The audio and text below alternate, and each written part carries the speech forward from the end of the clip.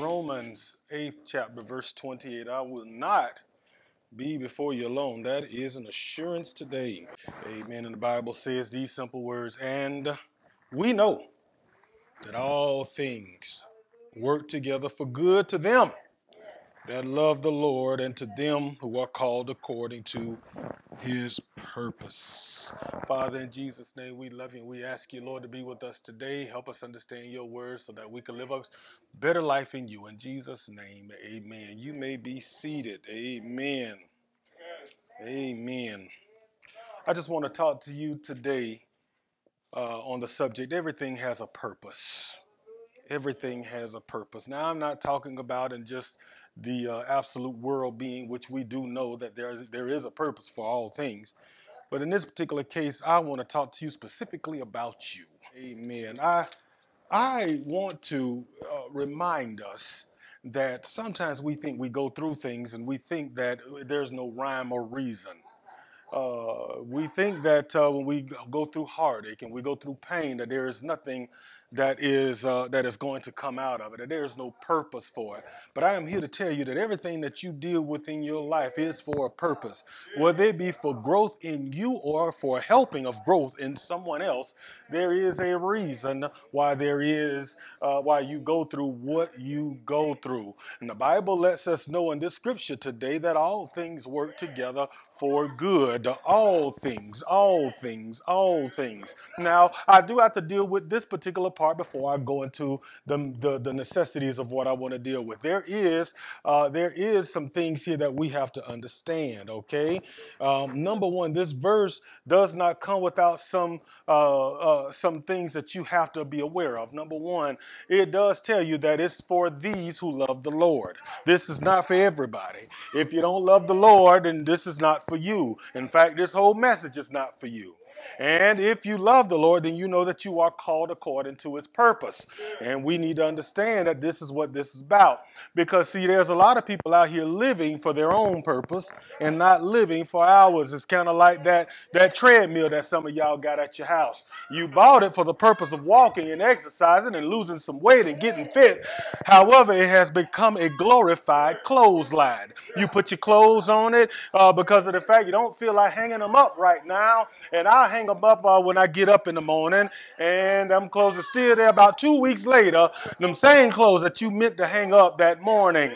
The purpose was for you to lose weight, but you ended up having another purpose. There's a lot of us that are made uh, to do one thing, but we have steered our lives to do something different. We have steered our own lives to make a different purpose for us. Sometimes it's our purpose is we, we have made the purpose of getting more money. And I'll do whatever it takes to get more money. Some of us, we want our, we put our lives into raising our children, and then when our children are grown, we still have the purpose of raising our children, even after they've gotten grown and gone. And I'm here to tell you that if we don't remember that we are stewards of these children, these children were never meant to stay with you forever. And I know that's a tough one for some. And y'all think Pastor judging you, but no, Pastor ain't judging nobody. I'm just telling you the truth. A lot of us have gotten lost in raising our kids. And then, even worse, some of us married people have poured all we have into raising children. And then when they do leave, we don't know what to do with ourselves.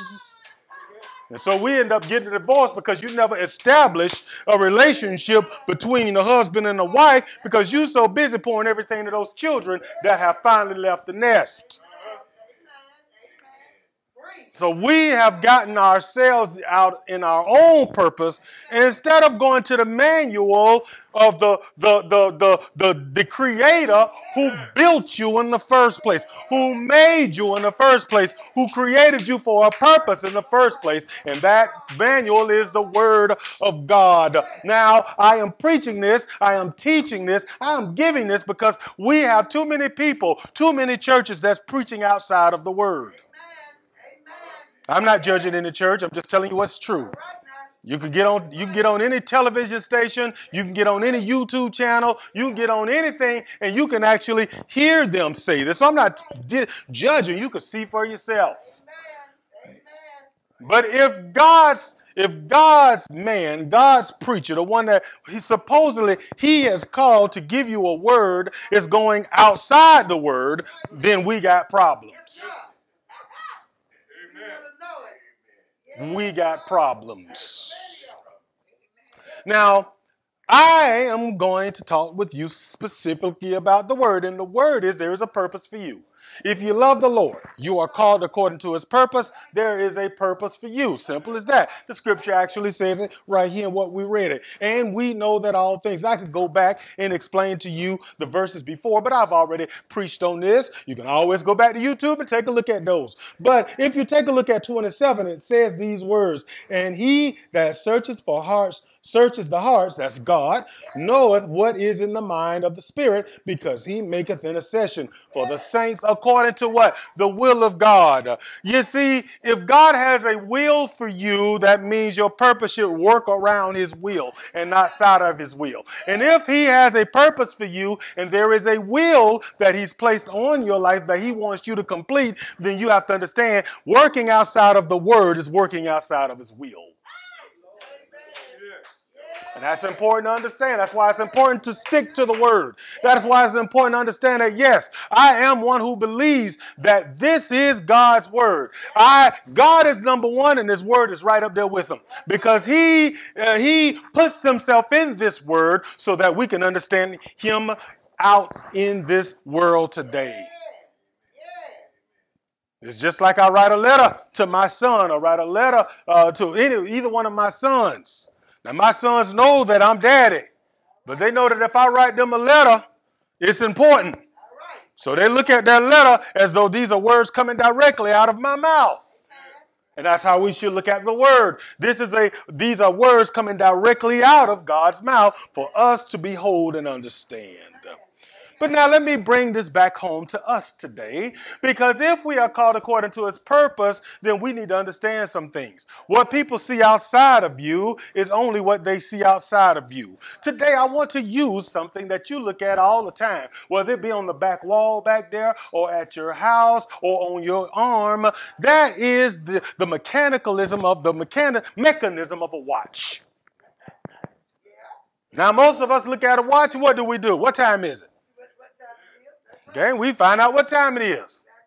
We don't try to figure out how this watch was made. How many of you ever looked at the watch and tried to figure out how it was made? But we know that when we look at our watch, it should give us an accurate time. Am I wrong? They've gotten so sophisticated now that even during the time change, you don't even have to change the watch anymore yourself because the, it will change automatically by the, the mechanism inside of the watch.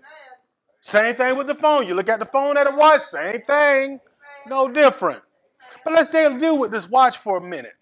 When you look at this watch, you see the hour hand, the second hand, the minute hand, you see the numbers on the wall, you see the wall, you see the face of the clock with the intent of the purpose it's made for. But how many of you know that that watch had to be made in order to give you the right time? How many of you know that just just just that hand, that second hand and that, that minute hand and that hour hand, that's not moving all by osmosis. But there is something that is moving that watch. You see, there are parts of this watch that you don't see. You have a mainstream a mainspring that actually, if you have a wind up, you turn that little knob on the watch and you turn it tight, that, and then it runs until it runs out. That's the mainstream, brain spring. These young folk don't know nothing about that, D. Because they don't know about wind ups. Your sister Banks too young for that, D. She wouldn't understand that.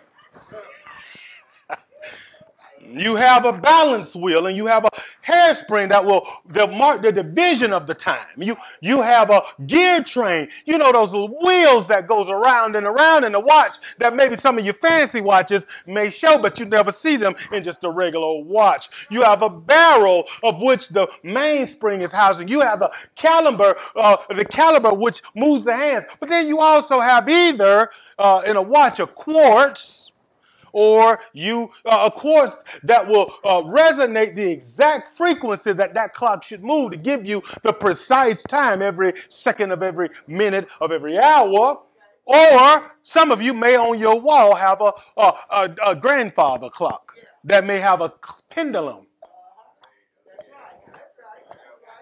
which also does the same thing. But all you see when you try to see what a time is, is what? The time.